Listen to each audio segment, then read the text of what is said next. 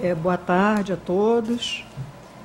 Eu gostaria de, primeiramente, agradecer o convite né, do Laboratório é, Políticas, Direitos e Éticas, né, na pessoa, nas pessoas né, do professor Edgar Leite, professora Elizabeth Susequinde e da professora Renata Costa Moura.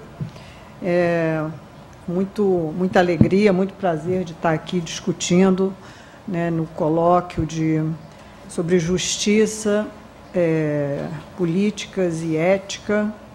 E o meu tema é infância, subjetivação e dominação. Eu falo como pesquisadora e é, é, dedicada aí à, à questão da infância e da juventude desde bastante tempo. E essa reflexão é mais uma reflexão teórica é, sobre a questão da dominação na sociedade atual, não apenas na sociedade atual, mas também pensando basicamente na sociedade atual. E eu, o meu argumento, é, ele vai tentar pensar, em primeiro lugar, o, o, lugar, a posição que a criança ocupa, né, que lhe é, de certo modo, destinada né, pela sociedade adulta, as ideologias que sustentam essa posição da criança, o que, que isso pode dizer para a gente, clarificar alguma coisa sobre os processos de dominação na sociedade moderna. E eu vou, no final, quer dizer, mais no, final do argumento, é, discutir o tema da obediência. Tá?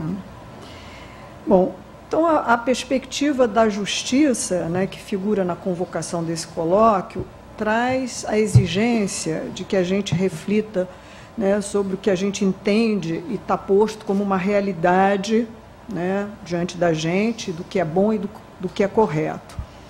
Só que a perspectiva da justiça também nos leva a questionar essa ordem instituída, a partir aí de anseios e aspirações para uma convivência melhor.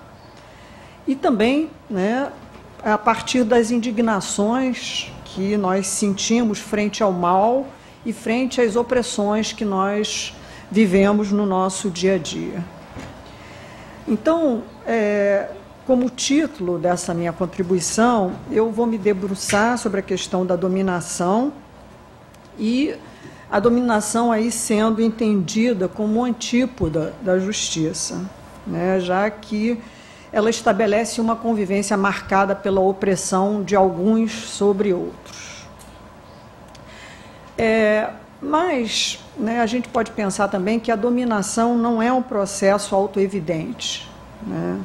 Ela não carrega nela mesma as marcas da iniquidade. Né?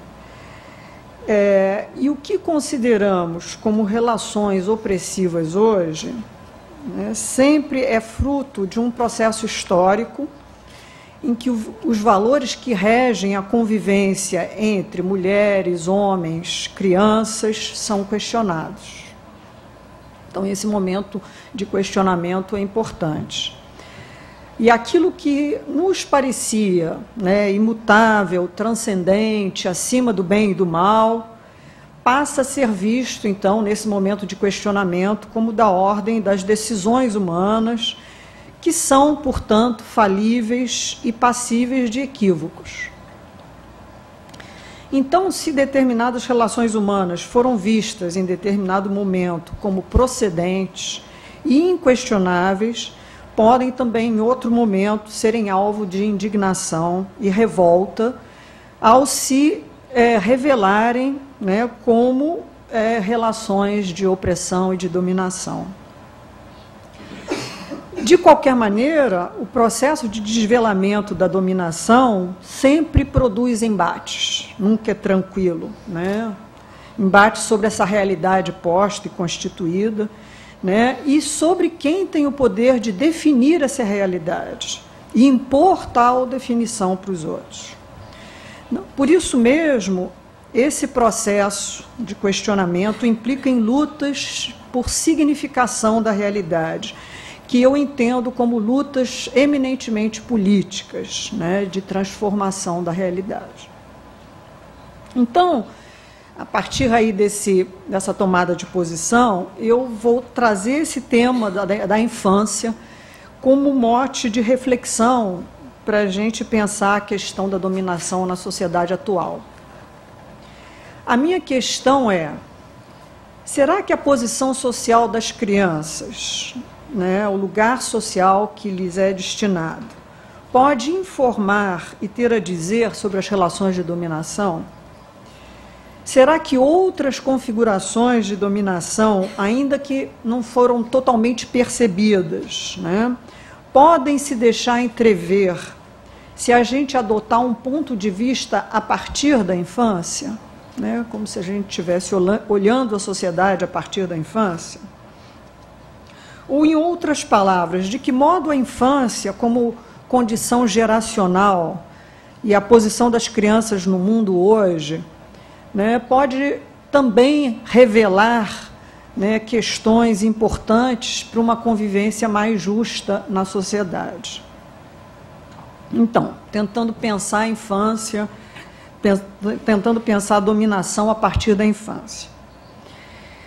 E aí eu queria, em primeiro lugar, recortar de qual infância eu estou me referindo, já que a noção de infância não significa apenas um momento etário, né, mas ela se refere basicamente a uma construção de relações entre grupos sociais que têm a idade como critério. Né?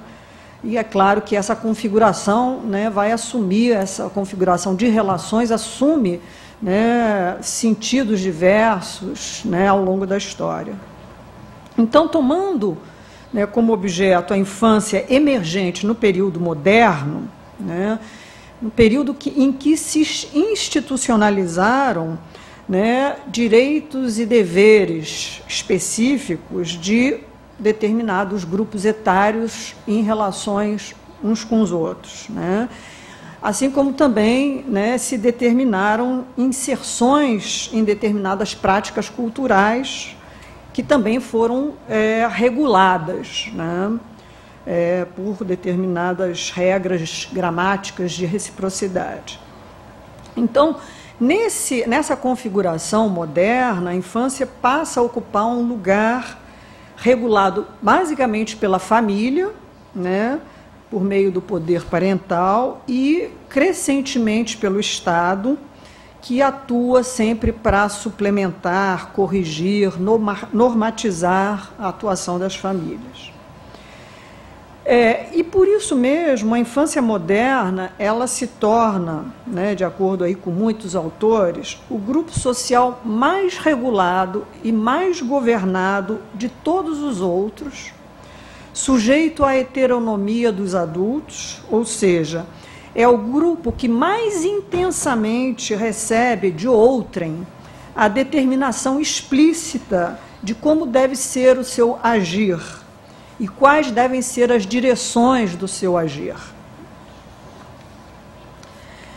Então, a governança da infância tem sido, né, a bem dizer, uma, uma vocação específica da nossa época e da nossa cultura moderna, porque ela se baseia nessa legitimidade de governar a infância significa que a regulação parental e estatal das crianças ela se sustenta basicamente por, por, força da crença de que isso não é apenas possível, mas é altamente desejável.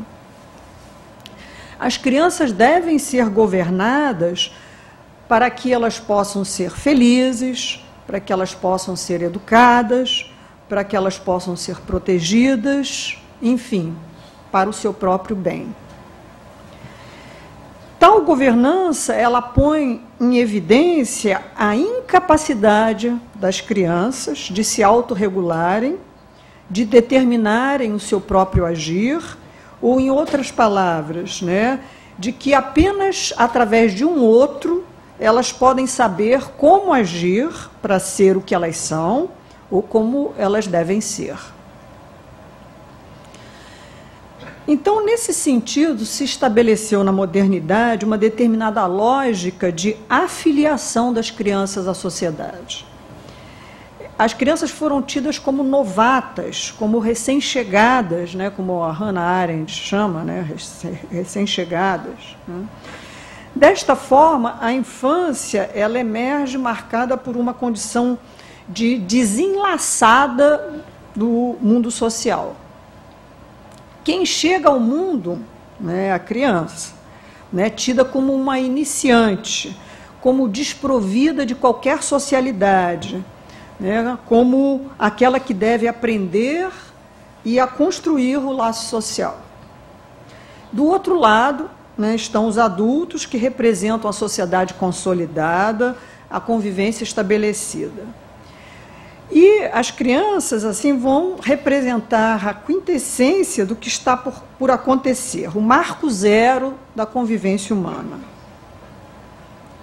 Se quem chega é a criança, na condição de novata, se preconiza dessa forma uma hierarquia entre o que já estão aqui e os que chegam, entre os clientes e os usuários da ordem social, se a gente pode dizer assim, e aqueles que estão chegando e são distantes e desinteirados dessa ordem social.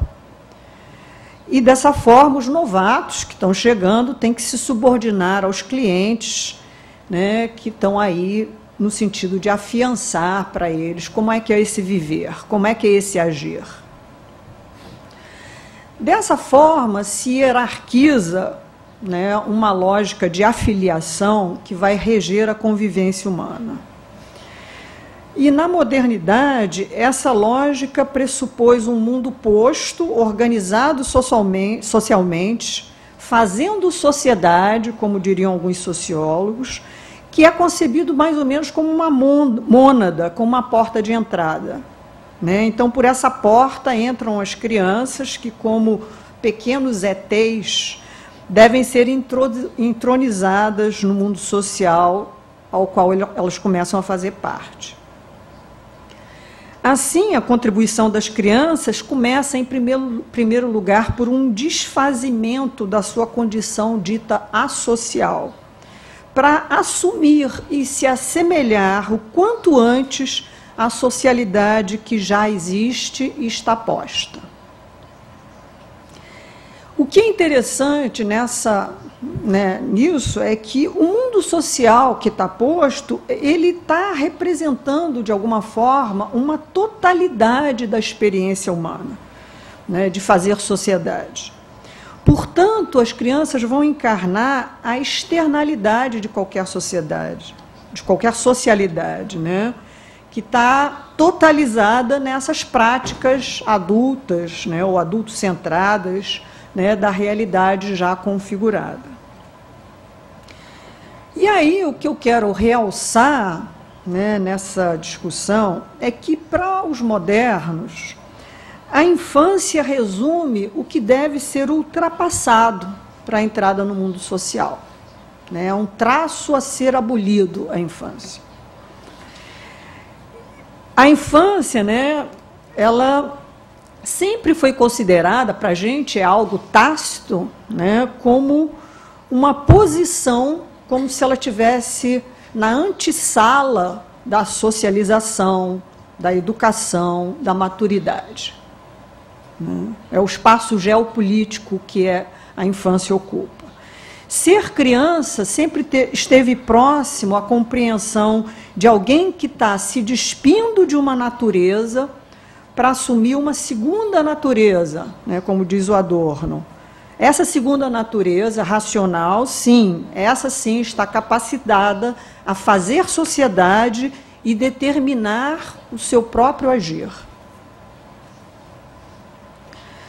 Então, frente à lógica, essa lógica de afiliação das crianças, que hierarquiza a posição delas de novatas frente aos adultos, é, é possível legitimar as práticas de governança da, da, infância. As práticas de governança da infância né, têm, então, esse tipo de legitimidade. E aí, voltando à questão inicial, né, será possível a gente desvelar né, alguma forma de dominação que se esconde nesse projeto político é, institucional das sociedades modernas?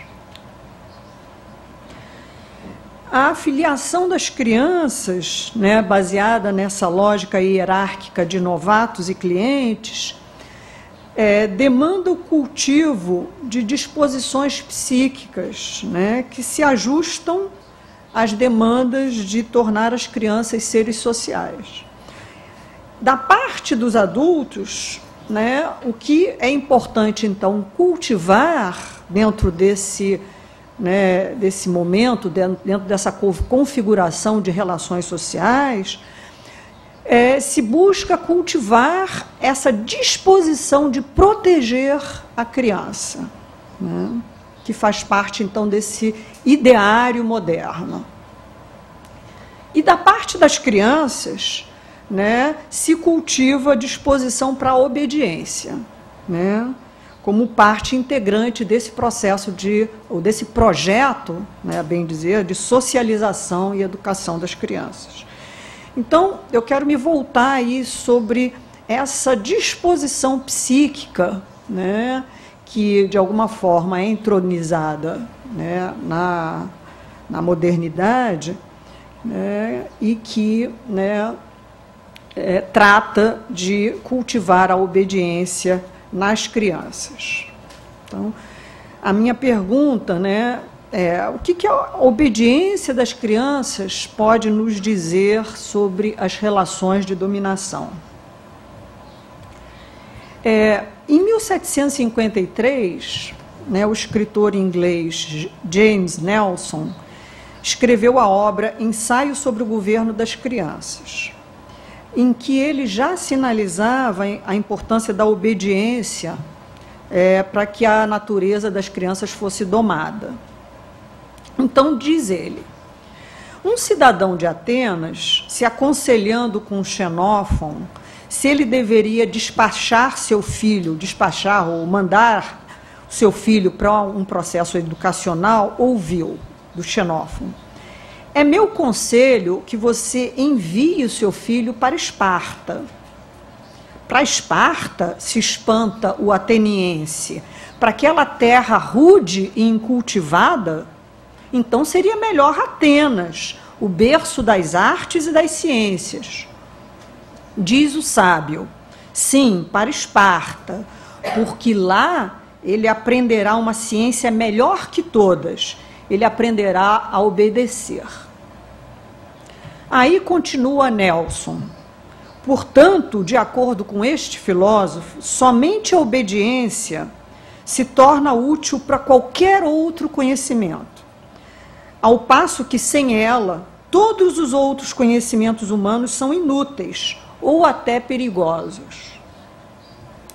Então, de acordo com James Nelson, os pais deveriam se preocupar, antes de tudo, em tornar as vontades das suas crianças aquiescentes, ensinando-lhes a obediência.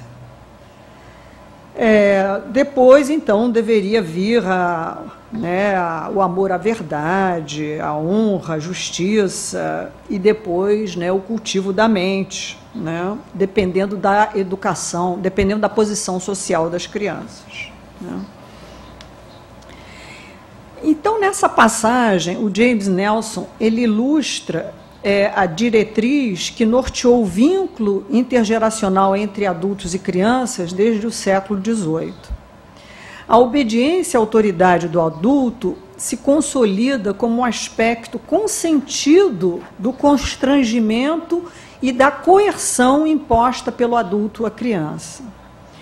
Significa que o valor da obediência se legitimou frente à criança, fazendo com que essa também aqueça ao comando adulto. Porque somente pela obediência a criança ganha o que ela não tem, o que ela acha que não tem. Conhecimento, a virtude, a verdade. Assim, o comando do adulto passa a ser considerado como desejável pela própria criança legitimando-se assim a obediência como modo de subjetivar as crianças. E na mesma linha do Nelson, a gente vai encontrar né, outros autores, o próprio John Locke, na sua obra Dois Tratados sobre o Governo, de 1698, né, que ele vai dizer que, na condição de filhos, né, as crianças e os jovens não podem usufruir da igualdade dada a todos os outros indivíduos que os pais devem ter o domínio e a jurisdição natural sobre as crianças, até que a idade e a razão os faça livres e senhores do seu agir. Então, para Locke, a liberdade do indivíduo e a, a, determinação do seu agir se baseiam no fato de que ele é, deve ser possuidor de razão. Né? que é capaz, então, de instruí-lo, entre aspas, sobre a lei pela qual ele deverá se governar e fazer com que saiba até que ponto pode dar-se a liberdade de sua própria vontade. Deixá-lo em liberdade, no caso a criança, irrestrita, antes que, te, que tenha razão para guiá-lo, não é garantir-lhe o privilégio de sua natureza, o de ser livre, mas sim atirá-lo entre os animais e abandoná-lo a um estado tão miserável e tão abaixo do de um homem quanto o deles. Então, a obediência se inscreve como consentimento à coerção no âmbito das relações entre adultos e crianças. Que é também, né, a obediência, como a gente sabe, também um elemento das relações entre governo e governados. Né? Então, é, é um aspecto né, da discussão na própria teoria política, né, que vai desde o Etienne de Lavoisier, no, no estudo dele sobre servidão humana, né, que vai apontar a obediência como um hábito, né, o hábito de servir, uma disposição psicológica né, de se conformar. Né. Então, o Lavoisier vai dizer que né? Essa servidão ela é até desejada e voluntária né, por parte, muitas vezes, de quem obedece. Mas então a gente tem que se perguntar né, como é que surge essa disposição para obedecer. Né? Como é que ela se mantém? O que, que respalda essa, essa atitude, essa disposição? E é claro que essa pergunta, mesmo na discussão sociológica e na discussão política, ela tem encontrado assim inúmeras respostas, né? O Bourdieu vai assinalar, por exemplo, que a legitimidade de quem manda não resulta apenas da corroboração de uma ordem social, mas se assenta também né, por uma disposição psicológica de aderir a uma crença de uma legitimidade, de uma assimetria entre indivíduos, né? e de uma legitimidade também é, da hierarquização social. Né? É, é, claro que Bourdieu também não fa nos faz perguntar né, como é que essa disposição psicológica ela emerge, né? o que, que sustenta. Né? No caso da criança, né, o que né, aparece é uma ideologia da imaturidade que né, a psicologia, de alguma forma, né, como ciência, foi um dos, uma das produtoras dessa, é, dessa ideologia e que fornece o elemento de persuasão necessário para que essa ordem social hierarquizada possa parecer natural e legítima. Então, é, ser um ser faltoso e imaturo, a criança, é, consiste na, na, imagem introjetada pela própria criança, que deve ser introjetada pela própria criança, que reforça, então, justamente né, essa é, relevância, essa adequação do comando do adulto. A gente pode se perguntar né, qual que é a diferença entre o consentimento é, que os governados né, têm, né, dispõem, e aquele que é desempenhado pela criança né, quando ela aquece ao comando e à subordinação de um adulto. O que salta a, aos olhos é que é, a diferença né, entre é, a obediência no caso dos governados e a obediência no caso da criança é que no caso da criança, ou no caso da infância, vamos dizer assim, é, não se dispõe de nenhuma salvaguarda quanto à tirania do adulto, o abuso da autoridade do adulto, ou a injustiça que possa advir do comando.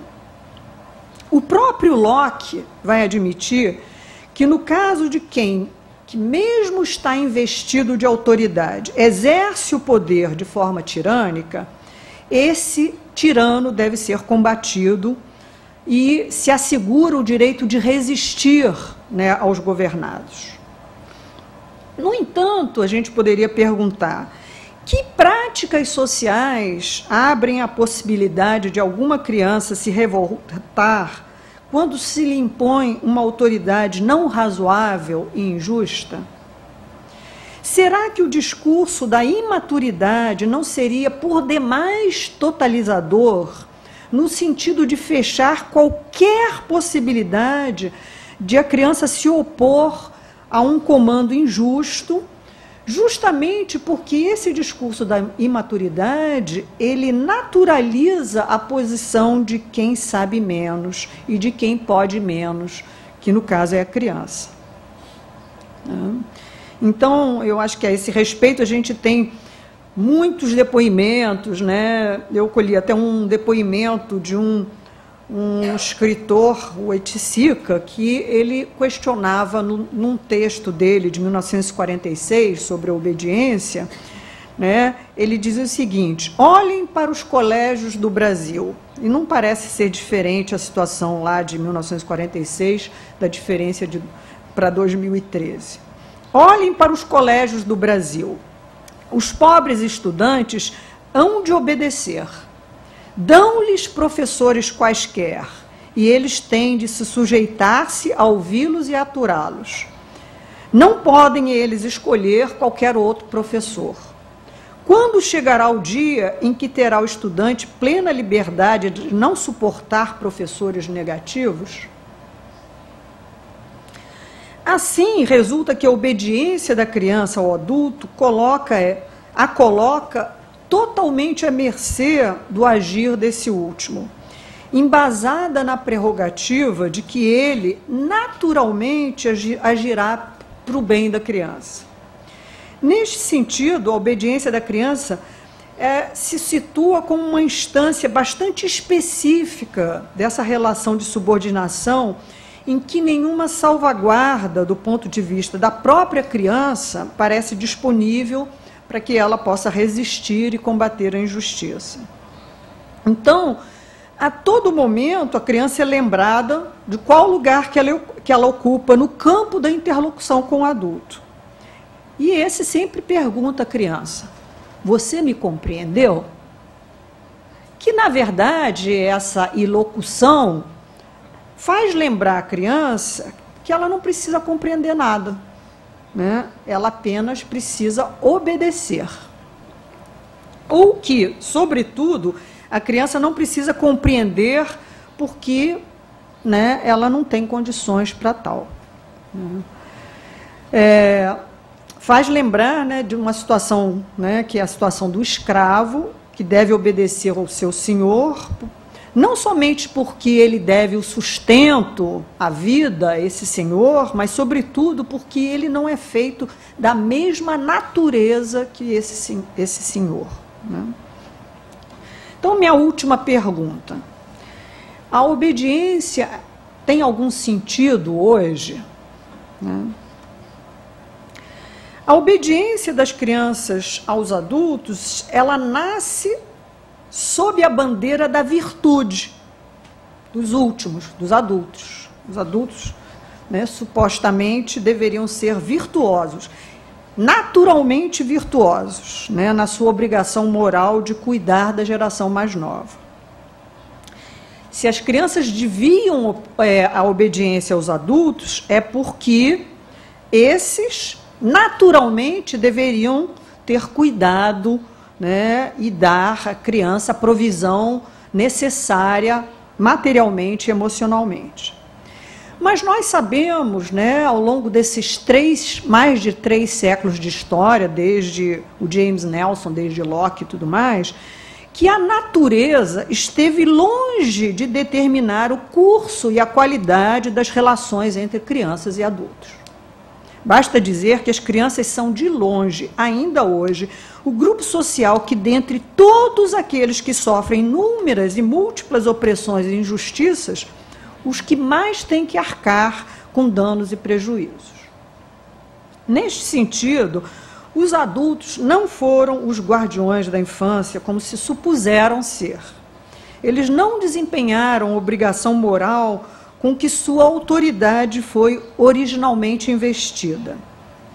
Não parece, portanto, estranho que as relações intergeracionais hoje estejam tão eivadas de desconfiança mútua, de hostilidade e de indiferença. E aí cabe refletir sobre os destinos da obediência no contexto atual.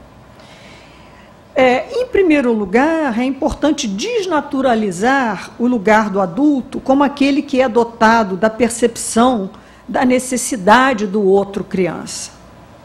Parece que esse processo ele se funda, ao contrário de um dom natural de que o adulto é constituído, justamente na possibilidade que ele aprenda com a criança, o que pode vir a constituir o desejo dela e a sua forma de existência. Desse modo, o fazer sociedade dos adultos se coloca em questão porque o mundo social, dos, o mundo social que o adulto oferece e impõe à criança exclusivamente do seu ponto de vista, deve se abrir a uma permanente problematização a partir do que esses novatos, essas crianças, podem vir a suplementar. Em segundo lugar, Parece importante questionar o estatuto da obediência como valor último e absoluto, instituído a partir de uma lógica de afiliação das crianças que estatuiu a sua chegada ao mundo como marcada pela vacuidade, né? ou seja, pela ausência de tudo. Observar como a desobediência é absolutamente patologizada. Né? No sentido de dizer que os comportamentos de não obediência da criança vão ser sinais precursores de, de seus problemas futuros de conduta. Né? Ou ainda, né, a necessidade de que a psicologia vá quantificar níveis de obedi obediência, níveis de obediência para determinadas faixas etárias para diagnosticar a normalidade da criança e prover medidas terapêuticas, corretivas, ortopédicas para corrigir. Enfim, o Estatuto da Obediência hoje requer que a gente reflita sobre o governo das crianças. Como muitos autores têm observado, fazem-se necessários a desconstrução dos arranjos estabelecidos na esfera pública e o questionamento das noções basilares que sustentaram a construção das sociedades democráticas, né? para poder acolher novas formas de relação entre as gerações e a participação maior e efetiva das crianças. Essa participação requer que a ação da criança possa ser considerada legítima, ou seja, que o agir da criança, ao invés de estabelecer uma imperfeição em relação ao agir do adulto, possa servir a esse agir de, do adulto uma relação de contraste, de diferença ou de suplência. E aí eu gostaria de colocar né, em, questão, em questão né, para o debate a politização das relações entre adultos e crianças. como um elemento que poderá publicizar e trazer à discussão pública aspectos dessas relações que são sempre tidas como privadas, ou se não absolutamente tácitas, incontroversas. E eu talvez ache que o caminho de publicizar né, pode atualizar o debate sobre o Estatuto da Obediência hoje. Né? Então, rever o Estatuto da Obediência significa também problematizar os arranjos jurídico-institucionais que estabelecem a boa forma de desempenhar a proteção das novas gerações. Mais do que encobrir as crianças com um manto, eu diria, opressivo da proteção, a noção de cuidado em relação ao outro pode ser um caminho para que se encontrem novas formas de educar as crianças e educar a sociedade. Obrigada. Bem.